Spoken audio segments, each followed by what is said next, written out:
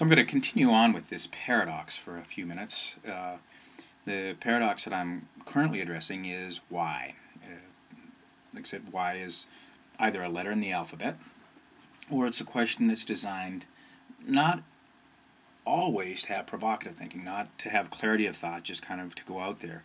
When somebody tells me that they know why something happened, what I have them do is I have them come up with five other reasons or excuses or randomness as to why they think something happened.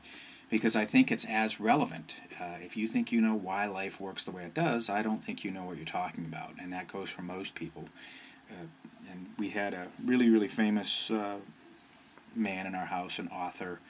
Uh, he wrote Revolutionary Thinking. From there, you can figure out who it is or not. But he was going on with one of his pet theories, and my wife got laughing. We were at dinner, and she said, You don't know that. And he started announcing his credentials as to why he would be somebody who did know that. And then he got laughing. And he said, Yeah, you're absolutely right. I don't know that. But a few years ago, I was talking to a friend of mine's dad, and he'd been through uh, some healthcare stuff. Bob is up in his 80s. Or, yeah, I guess he is now in his 80s.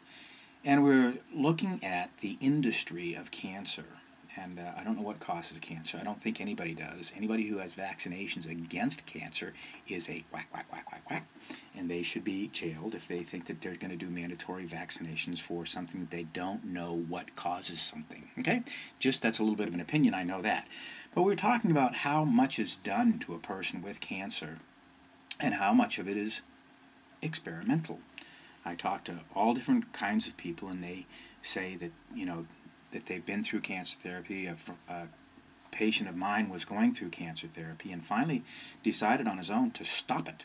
He said, No, I'm going to stop this because I was getting better on this protocol. They wouldn't let him go back on the original protocol because it didn't fit the experiments. He was essentially a lab rat. They were experimenting with his life, and he went off of it. But I was talking to Bob about different therapies, and I was saying, you know, it seems that they're ineffective and they don't really be looking all the time curiously as to what might or might not be causing it. But I said, you know, there's, and he, when we were talking about the therapies that don't seem to work, like all the demands from the medical system is, oh, you have to do double blind studies. Well, let's do it on an open heart surgery patient or a cancer patient, a double blind, okay? Um, with all your alternatives. Oh, this has to be double blind, this has to be proved, that has to be proved. It's a double standard that they set up and they don't have to follow. But with Bob, I was saying, you know, they don't seem to be that effective, and he said, why? And, you know, I thought about it. I don't have a clue why. There's a guy out there who says it's all to make money and stuff like that, and it may or may not be. I don't know. But the question why is a paradox. It's senseless, it's nonsensical, and it makes all the sense in the world. Have a fun day.